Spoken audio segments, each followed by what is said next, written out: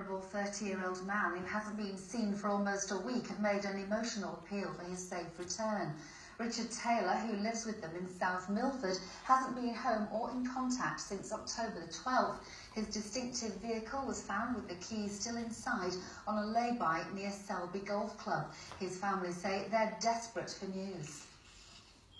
All I want to see Richard alive, please. I'm begging, I'm begging in the name of Jesus, wherever he is.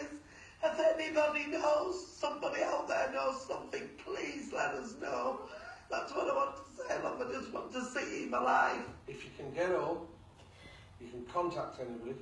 Just come straight home or drive anywhere and pick you up. Whatever you need, we'll get you. Just come home, Richard. We'll be hearing more from Richard's parents at six.